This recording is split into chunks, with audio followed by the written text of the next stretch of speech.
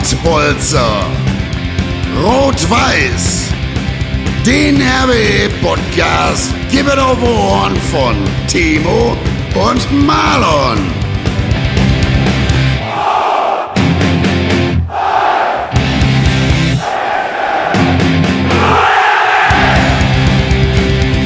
Und jetzt mal Tacheles. Mahlzeit, liebe RWE-Familie, liebe Fußballfreunde, Timo und Marlon hier wieder am Start. Neue Podcast-Serie von Pottbolzers Rot-Weiß, der RWE-Podcast. Timo, Junge, schön, dass du am Start bist. Danke, Marlon. Erstmal Hallo an die Fangemeinde. Hallo an dich, Marlon. Ich bin freue mich, dass du auch wieder Zeit gefunden Mahlzeit. hast für uns, dass wir ein bisschen über Fußball und über unseren RWE plaudern. Denn ich glaube, Natürlich. wir haben ziemlich spannende Themen, die heute auf der Agenda stehen. Das Spiel gegen Fortuna Köln, jetzt das anstehende Spiel gegen Genau. Münster. Und äh, eine Neuverpflichtung wurde jetzt heute auch präsentiert. Felix Weber, wo wir ja auch schon die kommenden, genau, genau, Felix, ja. wo wir die kommenden Sendungen schon drüber gequatscht haben. Das, genau, die, letzte letzte, Sendung, The- die letzte Sendung. Und die kommenden noch Genau so. Werden. Ja, Und ja, Thema Corona brauchen wir nicht mehr anreißen. Ich glaube, das bestimmt gerade die ganze aktuelle Fußballszene und die ganze Menschheit, würde ich jetzt mal sagen, das ist einfach nur müßig. das, die Galaxie. sozusagen, sozusagen, gefühlt. sozusagen. ja, und dann, Möge genau, und dann haben wir noch äh, uns was ausgedacht, wovon ihr, äh, wo ihr mit mitmachen könnt. Ähm, die, Genau. Ich kann soll ich schon mal vorwegnehmen oder sollen wir da gleich zu kommen? Lass uns schon mal vorwegnehmen, es wird eine RWE Legendenelf geben. Der Timo und ich haben uns da was Schönes überlegt, wo ihr quasi mitspielen könnt. Und zwar möchten wir jeder seine eigene RWE Legendenelf zusammenstellen. Wir möchten aber auch eure RWE Legendenelf oder Jahrhundertelf könnt ihr sie auch nennen, kennenlernen. Das heißt, der Timo und ich werden heute natürlich ganz gewohnt auf der Torhüterposition anfangen. Haben uns da schon ein paar Gedanken zugemacht, aber wer oder wen wir da genau ausgewählt haben, verraten wir jetzt noch nicht. Das werdet ihr gleich im Laufe der Sendung natürlich. Genau, und dann würde ich sagen, Marlon, du gibst jetzt mal uns dein Urteil über das Spiel gegen Fortuna Köln. Ich wollte gerade sagen, Fortuna Köln, also ihr habt es ja alle gesehen, ähm, lief ja ganz gut der Stream bei den Kollegen von Sport Total TV. Äh, Soccer Watch. Leider, Ne, für dich, ganz leider. Ganz leise. Ganz, ganz leise nur sagen. Ja, ich bin aber guter Dinge, dass unser Stream am Samstag auch laufen wird. Ich habe es ja letztes Mal schon gesagt, wir haben da einige Vorkehrungen getroffen. Ich habe heute auch nochmal mit der Technik geredet. Äh, ich mache euch jetzt einfach mal die Hoffnung, et kütt. Et Kütt, das sagen die Kölner, et Kütt. Et. Et kütt. Deswegen passt ja auch gerade so schön zum Spiel. Ne? Und ja, 1-1 gegen Fortuna Köln, Timo. Schön, dass du mich fragst. Ich gebe gerne mein nacktes Urteil ab. Mein, mein Ruhrgebietsurteil. Sehr, sehr gerne, weil du bist ja, du, ich habe ja gerade gehört, du bist der Techniker. Und Techniker, der Techniker, ich habe mir nur gedacht, boah, Malern und Technik, also ich meine jetzt die Technik auf dem Fußballplatz, hm, lass mal mal so stehen. Was, ich wollte gerade sagen, was für eine Technik. gibt, gibt, gab keine Technik. Mit dem Kopf war ich Und am Glas stark. bist du technisch stark, oder? Die 1, 2 auf Ex und rein. Aber ich, ich dribbel da aktuell auf einem ganz anderen Level, mein Freund. ja, das, das kann ich mir vorstellen. Also jetzt schieß mal ja. los, erzähl was. Ja, ja, ja, ja, genau. Um darauf zurückzukommen, ihr habt es gesehen, 1-1 gegen Fortuna Köln. Ich habe dir ja letzte Woche noch gesagt, wenn wir da einen Punkt holen und zu Hause gegen Münster gewinnen, bin ich mit der Fußballwoche zufrieden. Sag ich auch nach wie vor, weil gut, wir sind jetzt zwei Punkte hinter dem BVB auf Platz 2. Das ist alles gut, alles im Soll. Die Saison ist sehr lang. Ähm, ich bin froh, dass wir da stehen, glaube ich. Aber ähm, klar, es war natürlich mehr drin. Ne? Das hat Christian Neidhardt ja nach dem Spiel auch gesagt. Ganz zufrieden sind wir mit dem Unentschieden nicht. Du hast ja gerade in der ersten Halbzeit, auch nach der Führung durch Simon Engelmann, starkes Kopfballtor, äh, sehr viele Möglichkeiten gehabt, auch auf 2 zu 0 zu erhöhen. Also ich sag mal zwei, drei richtig gute, wo du, glaube ich, einfach mal eiskalt sein musst jetzt. Und gerade wenn du so einen Stürmer wie Engelmann auch hast, ja, darfst du auch erwarten, ne, dass du da vielleicht mit, mit einer 2-0-Führung in die Halbzeit gehst. So war jedem, glaube ich, irgendwie klar. Ein Ei und du stehst plötzlich da und gerade bei RWE kennen wir das, dieses eine Ei kommt leider sehr oft. Aber diesmal nicht am, Und aber diesmal nicht am Ende, sondern quasi direkt zu Anfang der zweiten Halbzeit. Mit dem Sonntagsschuss, ne? Genau, wa- ja, ja, genau, was ja eigentlich noch gut ist, weil dann kannst du noch lange reagieren. Ne? Und ich sag mal, da war so eine Viertelstunde, die war nicht so gut. Da hat äh, die Mannschaft so ein bisschen den Faden verloren, aber ich sag mal, 70, 75 Minuten des Spiels, muss man ganz klar sagen, hat RWE das Spiel eigentlich dominiert.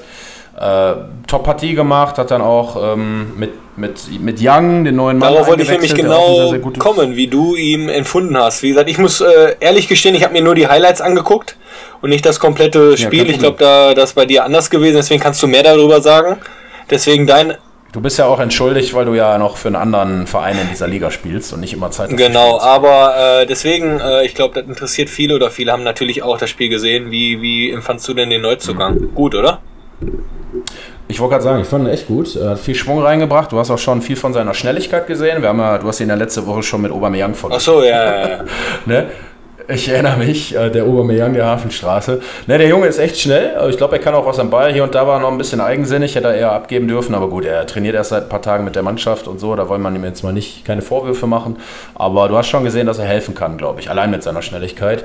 Ja, am Ende schade. Ne? Punkt gewonnen, vielleicht auch zwei verloren. Schwer zu sagen. Ich denke, andere Mannschaften werden auch noch, und jetzt kommen drei Euro ins Phrasenschwein gegen Fortuna Köln, Punkte lassen ähm, und, oder da nicht gewinnen, sag ich mal. Aber ich denke, du kannst jetzt mit viel Mut ins Heimspiel gehen, ja, was jetzt leider wieder fast ohne Zuschauer stattfindet, was ich sehr, sehr äh, ich sag mal, scheiße. Einfach, ist, oh. scheiße finde und nerv, genau, ja, ist so. Und nervig finde und es geht mir echt auf den Sack, um es mal so wie im Ruhrgebiet jetzt einfach mal rauszulassen. Diese Corona-Kacke geht mir richtig auf den Sack. Ja, aber ich glaube, äh, da können wir leider nichts ändern. Wie gesagt, das Thema haben wir, glaube ich, jetzt schon in jeder Folge durchgekaut, deswegen ja. wollen wir da jetzt auch nicht mehr nicht mehr explizit nee, ansprechen, ich auch nicht. Deswegen, wenn ja, wir Fortuna Köln jetzt abhaken, wie gesagt, ich habe leider nur die Highlights gesehen, deswegen bist du heute der Experte oder der Trainer. Du hast ja der so Ei, analytisch zusammengefasst. Ja, 15 Minuten waren wir da nicht im Spiel. Hör mal, wenn du da. Wenn ich der Trainer wäre, mal, die Jungs würden jeden Tag Du bist Trainer, Techniker, alles in einem. Tetraeder, jeden Tag. Treppen rauf und runter, bis die mit Sven, Sven ja, Linnemann, ja. kennst du ja auch, das ist ja der Athletiktrainer von RWE. Mit Sven zusammen würde ich die Jungs so was von lang ziehen. Hör mal, auf links krempeln. Der Sven will mich auch schon seit Wochen übrigens auf links krempeln. Sven, liebe Grüße ja, wir, an dieser Stelle. Sven wird Zeit, den Maler muss er umkrempeln, weil äh, für die Beachfigur 2024. Beachfigur, aber 24 dürfen wir ja erst wieder richtig an den Strand wahrscheinlich. Deswegen, Sven, haben wir noch ein bisschen Zeit, gute dreieinhalb Jahre. Aber ich habe dem Svenny das versprochen. Der macht ja auch immer den, den Henrik Bonnmann, macht er ja auch immer regelmäßig lang, wenn er hier ist. Jetzt bald auch den Felix Weber, habe ich gehört. Der weiß, glaube ich, noch nicht, was Aber wo du gerade sagst, Junge, äh, Sven, Sven, Sven Lindemann, ja. äh, wir können ihn auch mal antickern. Vielleicht hat er auch mal Bock, äh, hier in die Sendung zu kommen. Oder wie ihr das seht, ob ihr mal Bock habt, äh, ja, ihn kennenzulernen. Ja. Äh, vielleicht ja. können wir da auch irgendwie so einen Kontakt schalten und walten lassen, dass er mal hier reinkommt. Haben Aber wir sicherlich. Haben wir. Jetzt weiß ich natürlich, also ich weiß vom Sven, äh, dass der nicht gerne vor der Kamera ist, aber jetzt hat er keine Ausreden mehr, weil er ist ja nicht vor der Kamera. Genau, man hört ihn ja nur. Das, ne? das stimmt, das stimmt. Deswegen können wir ja mal. Also Svenny, genau, Aufruf, Aufruf, Aufruf, Aufruf. ja. Aufruf, komm vorbei, Junge. Nee, nee, machen wir, machen dann können wir ja direkt eigentlich auch, äh, wie, wie gesagt, Fortuna Köln abhaken. Und jetzt steht ja ein Derby vor der Tour. Richtig, Derby steht vor der Tür. Ich habe gerade schon angefangen, ja auch darauf einzugehen. Preußen-Münster steht vor der Tür. Da werde ich dich jetzt mal so ein bisschen mit ins Boot nehmen, Timo, weil du hast ja auch schon in deiner Karriere gegen Preußen-Münster gespielt.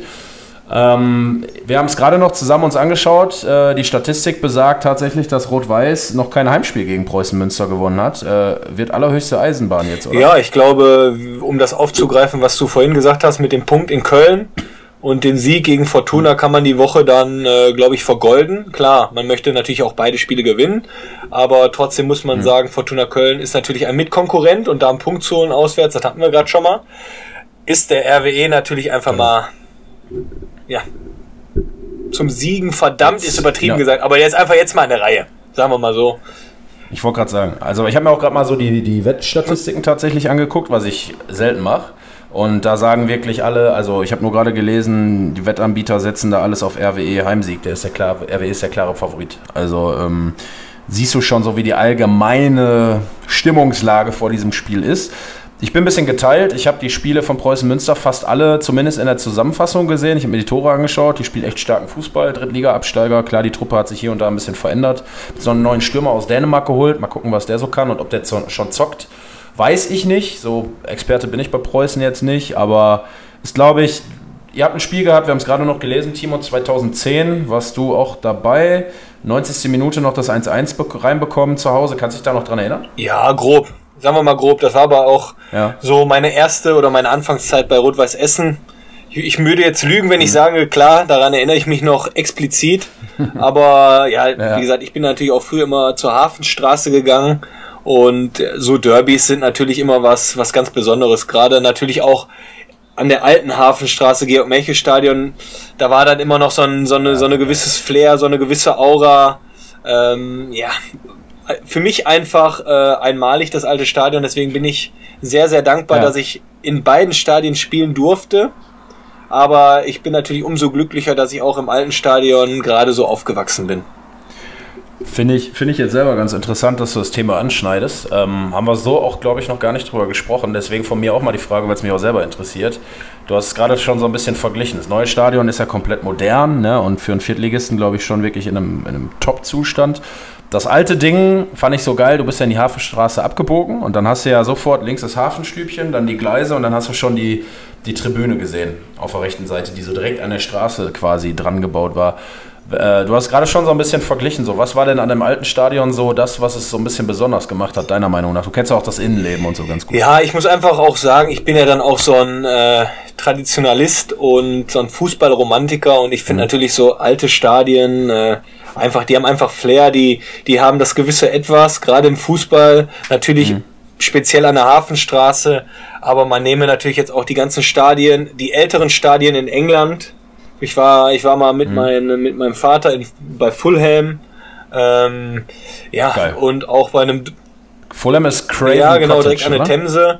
Und ich finde einfach diese, diese Nostalgie und dieses, dieses alte Flair, das ist einfach noch Fußball pur.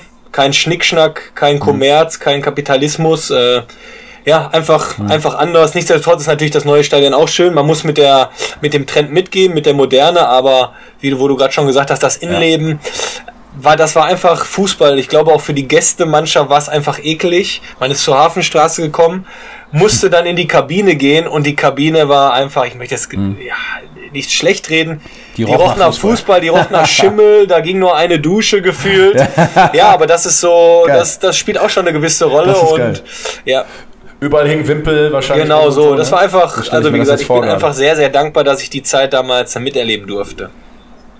Ich habe kein Bild vor Augen. Also ich habe die Kabine nie gesehen in dem Stadion. Wie muss ich mir die vorstellen? Ist das so richtig so Kreisliga-Flair? Meinst du, also die, die, die, äh, aus, für die Auswärtsmannschaft auf jeden Fall. Für die Auswärtsmannschaft auf jeden Fall. Da kommst du rein, gehst nach rechts und okay. dann wieder rechts und da war dann direkt die, äh, ja, die Auswärtskabine eine große Dusche aber sonst auch wirklich mhm. nur Holzbänke und ja, die, die, die, mhm. die Heimkabine ist halt hinten durch gewesen und kann man kann ich, man kann eigentlich noch Fotos googeln, glaube ich. Da, da, da kommen dann, da sieht man, wie das mhm. aussah. Ja, wieder einfach Fußballflair, auch wie wenn du dann rausmarschiert bist äh, durch den Tunnel, wo dann die Leute quasi mhm. noch äh, von der Haupttribüne äh, hier diesen Vorplatz hatten und dann auch am Spielertunnel standen. Das war schon, hatte auf jeden Fall was. Geil. Klingt geil. Also ich finde immer geil, wenn man, wie du auch gerade sagst, so diese Nostalgie, Mythos, alte Hafenstraße. Äh, ist irgendwie spannend. Ich, ich finde generell auch alte Stadien, wenn du, du hast ja auch schon mal in der Roten Erde gespielt in Dortmund, da ziehst du dich ja zwar im, im neuen Stadion um, ne? Mhm. Im Signal Iduna Park, aber dann gehst du ja rüber und dann gehst du ja auch so durch diesen alten, altgebauten kleinen Tunnel da durch und so und dann hast du so diese alten Tribünen und äh, ich liebe sowas, ne? Das ist irgendwie so, du hast das Gefühl, du spielst irgendwie in den, in den 60ern oder in den 70ern plötzlich. Und äh, das finde ich, hatte ich als Fan an der Hafenstraße früher auch immer im Georg-Melche-Stadion. Ich kann mich nicht auch erinnern, ähm, Schande über mein Haupt, ich war tatsächlich einmal im Gästeblock. Okay. Und ähm, ja, und zwar mit Borussia Dortmund. Jeder eine Komisch, wäre ich jetzt nicht drauf gekommen. Sympathisiere. Ja, habe ich mir gedacht. Und zwar äh, hat Dortmund ja mal im DFB-Pokal gegen euch gespielt. Ich weiß gar nicht, ob du zu der Zeit da nee, warst. Nee, zu der Zeit war ich nicht Warst da. Nicht ich, da, ich ne? durfte aber auch mal gegen Borussia Dortmund spielen. Da war der äh, Jürgen Klopp sogar noch Trainer. Da habe ich noch ein Foto, ja? aber es war nur ein Testspiel. Da habe ich auch noch ein Foto mit Mats hm. Hummels. Ja, ja. Echt? Ja, genau, genau. Ich glaube, ich habe damals mein Ach, Trikot getauscht mit Sven. Sven Bender ist bei Dortmund oder Lars Bender. Das kann ich dir. Sven Bender, Sven, genau. Sven, Sven. Genau, Money, Money, Money Bender, Money. Money die Grätsche Bender, ne? Genau. Ja.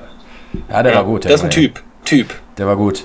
Ja, ein richtiger Typ. Aber äh, war das das Spiel, wo ihr 3-2 oh, gewonnen Ganz habt? ehrlich, da bin ich jetzt überfragt. Ja, so gegen Aubameyang und Dembele? Nee, nee, das war, ach, das war noch davor. Da war noch Vragel da Silva war da noch, äh, Felipe, Toni, Fel Toni ja, genau, Vragel war der von, äh, von äh, Cottbus, ne? Genau. Da, da bin genau. ich Experte. Dann war Santana war neu, ja. Felipe Santana. Felipe. Oh, ja, genau. Barrios, genau. Geil. Barrios, Lukas Barrios. Ah. Okay, Aber wie geil. wir da jetzt gespielt geil. haben, kann ich dir ehrlich gesagt nicht sagen. Dann Muss mal irgendwann rauskramen, möchte ich gerne mal posten, weil ich weiß, Mats Hummels hatte zu der Zeit eine ganz bescheuerte Frisur und du bestimmt Ich schicke dir das auch. Bild nachher, ich habe das noch auf dem Laptop oder auf Festplatte, da schicke ich dir da auf jeden Fall ja. mal rüber. Schick mal rüber, weil dann posten wir das mal dazu. Ja. Das ist vielleicht ganz schön. Dann wird der ein oder andere nämlich dann auch nochmal sehen, oder wird sich jetzt wahrscheinlich auch fragen, wenn das hört, boah geil, wie sehen die Jungs da aus? Ähm, ja, genau, jetzt sind wir ein bisschen abgeschweift, aber wie gesagt, ähm, ich kann mich an dieses Spiel erinnern, das war DFB-Pokal. Da hat nämlich noch ähm, Stefan Lorenz war es, ein Traumtor geschossen, zum 1 zu 0 Führung sogar für RWE und hat dann diesen, diesen Geigentorjubel gemacht. Ich habe ihn noch genau vor Ja, kenne ich vom Atze, kenne ich. Gemacht. Kenne ich, kenne ich, kenne ich. Ja, genau. Total geil. Total geil. Und äh, ja, ich glaube, dann, dann hat Dortmund das Spiel gedreht. Ich glaube, am Ende 3-1 gewonnen, die BVB-Fans. Aber das fand ich geil. Und da siehst du so ein bisschen diese Verbundenheit dann doch dieser beiden Vereine, auch gerade gegenüber Schalke. Erst lief natürlich am Tag, als der FC starb, ja äh, das Lied, ne? Haben alle gesungen natürlich im Stadion und dann hatten die BVB-Ultras ein Banner, da stand drauf, in Essen geboren, um für Dortmund zu sterben. Das fand ich schon ziemlich sexy, muss ich sagen. Aber krieg ich heute noch ganz Ja, aber ich, wenn, wenn, wenn ich dich jetzt mal kurz unterbrechen darf, ja. ich meine, ich war ja auch ja, schon klar, früher klar. im Stadion, aber meine, ja, auch mein, mit mein tollstes Erlebnis war damals im alten Georg-Melche-Stadion. Äh, damals war der Betreuer noch Marcel mhm. Müller. Viele kennen ihn, der alte, der alte Betreuer. Mhm. Und der war damals mein E-Jugendtrainer bei Ballfreunde Berge Borbeck und war Betreuer bei Rot-Weiß Essen. Ach, geil. Und da war ein DFB-Pokalspiel ja. gegen Bayern 04 Leverkusen. Da hat damals, da weiß ich noch, da mhm. hat damals noch Lucio gespielt. Boah, und wie sie alle heißen. Ja, ja. Die hatten blaue Trikots mit sogar, glaube ich, Sponsor RWE. Da erinnere ich mich noch wie, RWE, genau, ja, wie die Faust aufs Auge. Und da hat Marcel Müller mich mit in die Kabine genommen als kleiner Dröpsel mhm. und da durfte ich dann äh, mhm. genau am Spielertunnel stehen, als sie alle rausgekommen sind und das war für mich einfach ein ja unbeschreibliches Erlebnis damals. Ja, sowas, sowas ist richtig geil. Ne? Das ist, äh, ja, das war Hafenstraße früher. HSV war auch da. Genau, mit Van der Vaart, glaube ich. Worcester, genau, Kompanie. Kompanie, Van der Vaart, ja. ja, das, da wurden schon einige Schlachten geschlagen, ne? Ja, und woran ich mich auch noch erinnern kann, war dieses VIP-Zelt genau. links, wo die Westkurve früher mal war, war ja dieses weiße VIP-Zelt.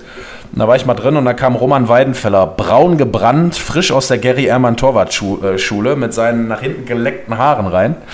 Ähm, geiler, geiler Typ übrigens. Ich kenne Roman mittlerweile ganz gut. Es hat sich entwickelt, aber damals war schon äh, frisurentechnisch mein lieber Scholli. Also ich hoffe mal, er hört den Podcast nicht. Ich glaube nicht, aber wenn er doch mal irgendwann hört, Roman, tut mir leid, aber das ging gar nicht.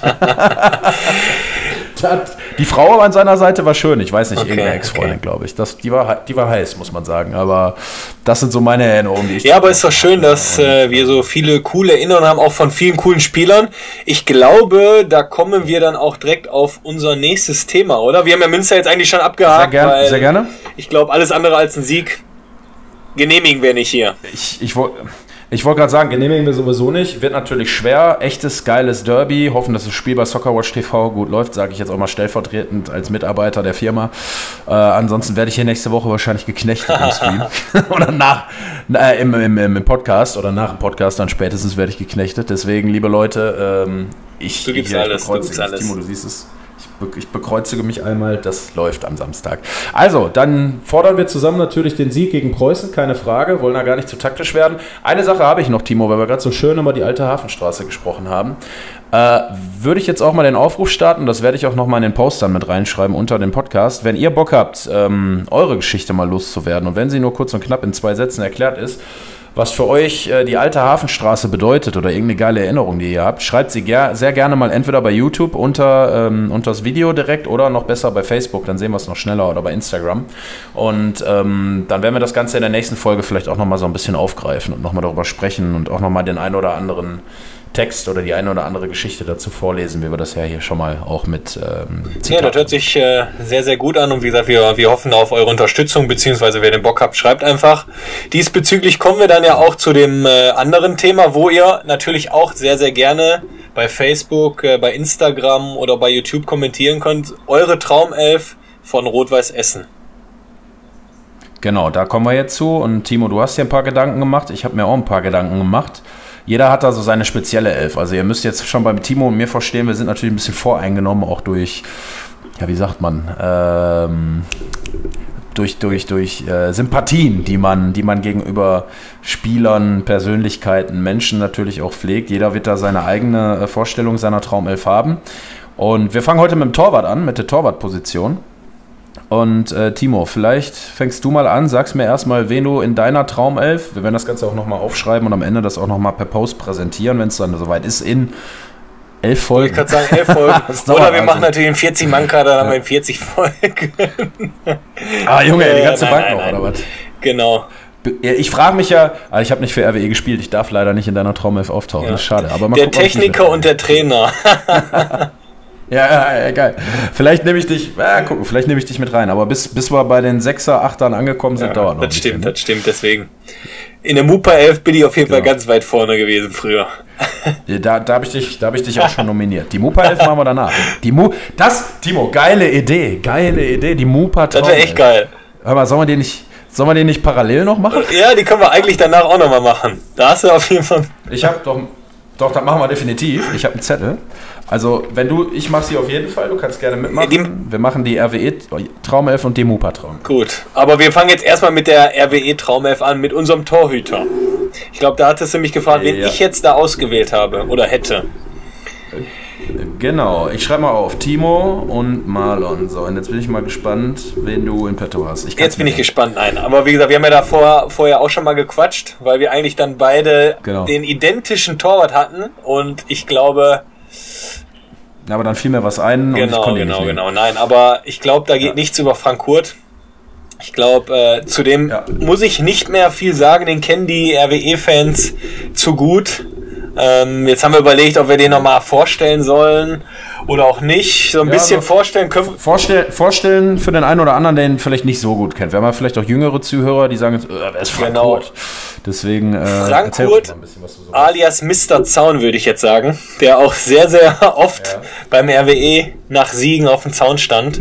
Also wie gesagt, ich habe mir da auch ein paar Videos Ja. angeguckt, äh, legendär, muss ich sagen. Und ich hatte natürlich oder habe auch das, äh, ja, das Glück, ihn privat zu kennen, beziehungsweise natürlich auch öfters mal mit zu quatschen. Und ja, Frank Kurt Mhm. ist einfach äh, ja für mich mit einer der besten Torhüter der Vereinsgeschichte gewesen. Stand übrigens auch im Mhm. äh, legendären Pokalfinale gegen Werder Bremen. Auch nicht zu vergessen. Ähm, was natürlich, genau, was natürlich äh, leider verloren ging. Aber hat insgesamt auch wie ich ähnlich zweimal äh, für Rot-Weiß Essen gespielt. Einmal von äh, 85 bis 94 und dann nochmal von Mhm. 96 bis 1997 hat er für Rot Wo war dazwischen? Dazwischen war er bei SG Wattenscheid 09, also quasi auch ein Ruhrpott-Club. S. Wattenscheid 09. Wattenscheid 09. hey. Genau, und gekommen ist er damals von Fortuna Düsseldorf und seine Karriere als Spieler hat er dann bei der SSVG Felbert äh, beendet. Hm. Also kann man sagen, ist natürlich auch ein Kind des Ruhrgebiets.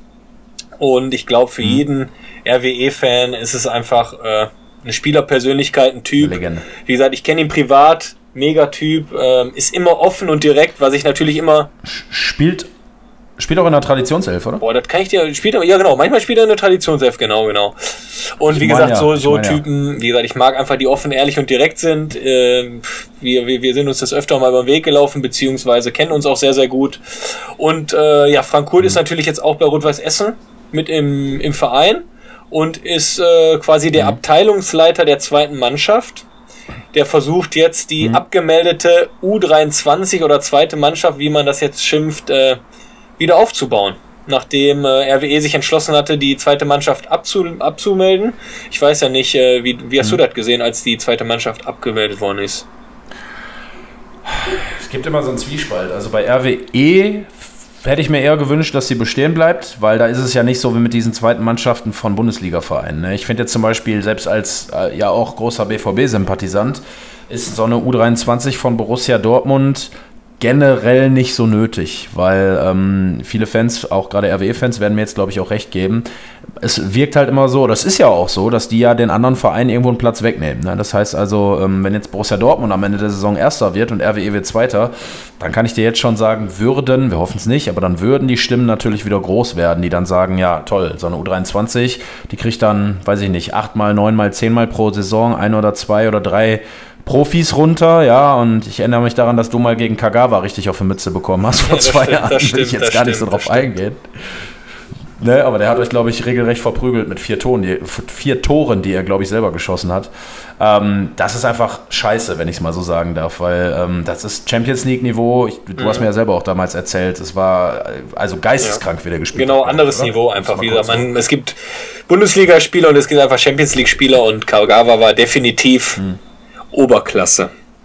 Ja, aber ich weiß ja auch genau, wo du, wo du darauf hinaus musst. Ich finde es äh, eigentlich auch klar, man, man, muss es anders sehen bei Rot-Weiß und Dortmund, beziehungsweise bei den Blauen, genau. bei Gladbach, die jetzt alle noch die U23 haben. Aber ich prinzipiell mhm. fand es auch sehr, sehr schade, weil man vor allen Dingen äh, in der Oberliga war. Quasi eine Liga nur, nur mhm. unter der Regionalliga. Und gerade, ich glaube, damals ja. wurde die zweite Mannschaft abgeschafft mit der Begründung, äh, ich glaube, da war Uwe Hartgen am Werk, äh, mit der Begründung, ja, mhm. von der U19 Bundesliga ist der Sprung zum Regionalligakader nicht so weit. Ja, da, die, die Meinung habe ich nicht geteilt oder teile ich nicht, weil ich glaube immer noch, es gibt einen sehr, sehr großen Unterschied zwischen Senioren und Juniorenfußball. Und wenn man da gerade eine, eine U23 oder zweite Mannschaft schon in der Oberliga hat, wo es dann auch gegen erfahrene Truppen geht, mhm. wo es gegen erfahrene Spieler geht, die vielleicht auch mal andere Mittel einsetzen, äh, da lernen die Jungs einfach äh, ziemlich schnell oder mehr Erfahrung zu bekommen. Und äh, man kann vielleicht den einen oder anderen Spieler aus der Jugend natürlich auch halten.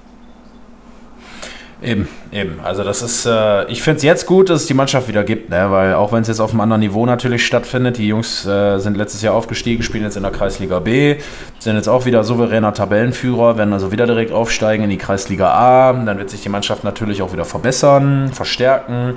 Da bin ich mal gespannt, wie viele Jahre das dauert und ich würde mich eigentlich kaputt lachen, wenn die Mannschaft in ein paar Jahren plötzlich wieder in der Oberliga spielt, weil dann bist du eigentlich wieder genau da, wo du vorher auch warst. Ne? Und dann bin ich mal gespannt, ob es dann wieder heißt, wollen wir nicht oder ob die vielleicht ein Aufstiegsverbot sich irgendwann selber auferlegen, weil RWE irgendwie sagt, so ab der Landesliga ist Schluss, wir haben da keinen Bock drauf oder so.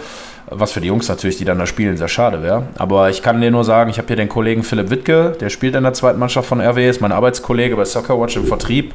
Super Junge, ähm, total sympathisch, äh, ja, qualmt und trinkt auch ganz gerne, aber passt halt sehr gut in die Kreisliga B und äh, windschnittiger Kollege. Also der ist, der schwärmt in höchsten Tönen davon, dass er bei Rot-Weiß Essen überhaupt spielen kann, dass er die, die Ehre hat, sozusagen als Fan das Wappen auf der Brust zu tragen. Und die Chance hat man halt aktuell noch in der Kreisliga. Ne? Also wer noch mal Bock hat, da vor die Pocket zu treten mit einem RWE-Emblem, noch habt ihr die Chance. Wenn die noch zweimal aufsteigen, wird es wieder. Nein, spielen. wie gesagt, äh, deswegen habe ich ganz klar und eindeutig Frank Kurt nominiert. Und ich weiß, dass ja. du ihn auch sehr, sehr gerne nominiert hättest oder hast oder wirst. Aber jetzt sag uns mal deine Nummer 1 im Tor. Ich weiß ja, worum es jetzt geht. Ist ganz große Überraschung, aber wenn man einen besten Kollegen hat, der äh, tatsächlich auch schon für Rot-Weiß Essen gespielt hat und glaube ich auch bei den Fans nach wie vor hohe Anerkennung genießt, das hat man gesehen, als er mit Borussia Dortmund 2 vor ein paar Jahren zurückgekehrt ist, da hat er großen Applaus an der Hafenstraße bekommen, auch wenn er in der 93. Minute die Führung für RWE mit einem sehr guten Reflex verhindert hat, daran kann ich mich noch erinnern, da war ich Feuer und Flamme. Ich Gänsehaut gehabt bei dem Spiel, muss ich sagen. Fast 90 Minuten, weil ich auch weiß, was dem Jungen das bedeutet. Ich rede natürlich über keinen geringeren als Henrik Bonnmann. HB39, wie man ihn in Fachkreisen auch nennt. Und äh, HB39 ist halt ähm, deswegen natürlich nicht nur da drin, weil er, weil er mein bester Kumpel ist, sondern auch, weil ich, weil ich einfach weiß, wie viel ihm Rot-Weiß Essen bedeutet. Der ist ja jetzt mittlerweile in der zweiten Bundesliga sogar, ähm, Würzburger Kicker, Kickers, die Nummer zwei hinter dem äh, Fabian Giefer. Fabian Giefer. Genau, danke Timo für die Hilfe. Hilfestellung.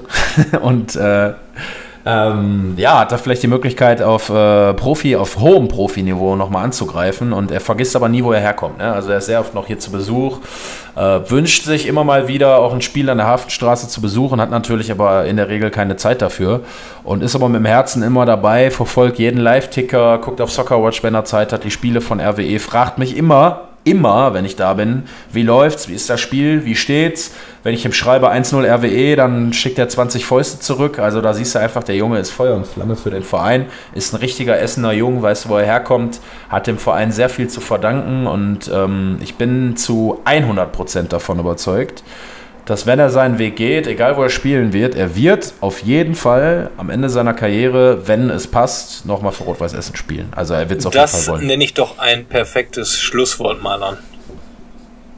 Ja, nein, nein, das war nicht schlecht. Aber wie gesagt, Aber die. So viel zu Aber wie gesagt, ich bin Ja. äh, zufrieden mit deiner Auswahl. Ich bin zufrieden mit deiner Auswahl. Deswegen, wir haben wir wegen schon mal hinten. Unser Tor wird jetzt verteidigt und liebe Leute, liebe Fans, Genau, die genau. jetzt das hören, bitte schickt uns nochmal die Aufforderung, eure Traumelf. Vielleicht können wir den ein oder anderen, äh, beziehungsweise den ein oder anderen habe ich sogar noch in meiner Kontaktliste, vielleicht können wir den ein oder anderen dann auch Mhm. mal zu einem persönlichen Interview einladen. Und das haben wir euch natürlich dann Genau. auch versprochen. Und äh, wir sind Genau. jetzt gerade am äh, Testen bezüglich unserer Technik. Äh, wie, wir, wie wir dann äh, einen Podcast gestalten, wenn drei beziehungsweise vier Leute auf einmal äh, ja, in unserem Podcast live sind. Deswegen, äh, ja, Jetzt haben wir uns da Tipps von höchster Stelle geholt. Ich glaube, man darf es auch sagen, nämlich von keinem geringeren als Mats Hummels persönlich. Der hat nämlich mit seinem Bruder Jonas und mit dem Kumpel Luki noch zusammen den Alleine Schwer Podcast, den wir übrigens auch sehr herzlich weiterempfehlen wollen. Der ist wirklich gut. Ne, genau, genau. Da versuchen wir jetzt oder testen jetzt über das Wochenende oder in den nächsten Tagen das Programm. Und dann werden auch die Genau. Live-Interviews äh, stattfinden. Und dann ist, glaube ich, hoffentlich nächste Woche äh, unser erster Gast, der komische Typ mit Augenzwinkern, der unser Intro und Outro macht. Also die eher größte RWE-Legende für mich, Sandy. Ähm, ja, wie gesagt, da müssen wir uns Genau. Ja, Sa- Sandy, du hast immer so schön gesagt, Sandgate, bis er dich mal da, darauf aufmerksam gemacht hat, dass er kein Ja. Engländer ist. Ich glaube, ich glaub, es ist tatsächlich Sandgarte. Ne? Nein, und der wird wahrscheinlich äh, das, das Debüt feiern. Klar, wir wollten erst den Andi Krom, aber jetzt kam deswegen was dazwischen, weil wir natürlich das Programm noch testen müssen und jetzt kommt eine Promotion Genau. für einen Sandy. Der Ja, genau, genau. Der, wie gesagt, wir hoffen, dass der Sandy auf jeden Fall nächste Woche bei uns in der Sendung ist. Dann kann er es natürlich nochmal explizit vorstellen, sein neues Projekt. Aber der Sandy hat äh, eine limitierte neue Auflage, eine Doppel-LP, Windy, äh, aufgenommen, beziehungsweise die steht jetzt zum Verkauf. Äh, natürlich, wie Ja. alle RWE-Fans denken können, 1907, limitierte Auflage. Das heißt, äh, ihr könnt die vorbestellen äh, unter unvergessen.rotweißessen.de. Und über das Projekt wird der Sandy uns natürlich dann äh, nochmal genau aufklären. Aber ich kann nur sagen, das Projekt ist super geil. Äh, es ist für eine spezielle Person, die in Fankreisen äh, einfach einmalige Leistungen oder einmalige Tätigkeiten vollrichtet hat. Deswegen äh, möchte ich da jetzt nicht weiter drauf eingehen, sondern die Stauder Trinkers CD, LP kaufen, kaufen, kaufen. Und äh, der Marlon, äh, unser Instagram-Mogul oder unser Technik-Mogul, wird natürlich da auch nochmal auf unserer Seite für ein Sandy äh, ein bisschen Werbung machen und äh, ja, die LP präsentieren, damit jeder weiß und jeder die LP vorbestellen kann. Ich wollte gerade sagen, jetzt hast du mich aber noch mal äh, so richtig hier herausgestochen. Ne? Also der Marlon, unser Technikguru, finde ich äh, sensationell, Timo. Genau, genau. Nein, wie gesagt, deswegen dafür wollten wir nochmal explizit Werbung machen. Ähm, zum Abschluss, dass es auf jeden Fall nicht in Vergessenheit geht, weil der Sandy macht für den Verein so viel, für die Essener Chancen so viel. Und ich glaube, mit der LP äh, wird er mehr oder weniger richtig Erfolg haben. Ja, ja, genau, das denke ich auch. Also deswegen freuen wir uns auch auf ihn, ihn hier als Gast begrüßen zu dürfen. Macht ja unser Intro und unser Outro jedes Mal sehr geil. Ich habe mir sagen lassen, manche hören sich das Intro extra zweimal an, weil sie es so geil finden, auch mit dem R. W, E, ne? ähm, ist schon ziemlich cool. Und ja, deswegen haben wir natürlich auch noch ein paar andere Fragen für Sandy parat. Wenn ihr auch noch irgendwelche Fragen an Sandy habt, dürft ihr die natürlich auch gerne rauspfeffern. Ja, der ein oder andere wird ihn ja schon mal gesehen haben bei uns im Stadion und auch mit ihm geschnackt haben und so. Sandy ist immer für ein Bierchen parat und auch immer für einen lockeren Spruch zu haben. Ähm, deswegen freuen wir uns total, Sandy, wenn du das hörst. Es wird richtig geil, glaube ich. Und Sandy wird bestimmt ein paar schöne, geile Geschichten auch mitbringen. Also wir werden mit Sandy auch noch mal über die alte Hafenstraße auf jeden Fall sprechen. Das Thema haben wir heute schon gehabt. Da werde ich immer ganz nostalgisch und ich glaube, er wird das auch und kann da wirklich ein paar geile Stories erzählen, weil er ist ja auch schon lange dabei und ja, glaube ich, einer der, der RWE-Fans äh, überhaupt, die man so mit dem Verein in Verbindung bringt, wenn man über, über Fans von Rot-Weiß Essen nachdenkt. Deswegen ne, würde ich sagen, sind wir mal gespannt, freuen uns. Jemand, der sich wirklich den, den Arsch für den Verein aufreißt. So, jetzt habe ich es einmal gesagt. Genau, und in dem Sinne würde ich sagen, es gibt ja keinen besseren Abschluss, als dass ihr jetzt wieder den Sandy hört, oder? Richtig, in diesem Sinne, Timo, danke ich dir mal wieder. Auch jetzt, ich, du hast mir gerade schon gedankt, jetzt schiebe ich dir Danke. Dank wieder zurück. Ich danke dir für deine Zeit, mein Lieber.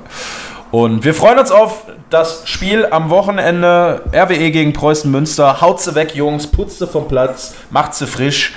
Timo, ich danke. Ich danke Sie. Adios, Marlon. Adios. So, Freunde, das war's jetzt. Hat richtig Bock gemacht. Bis nächste Woche. Ich danke Sie.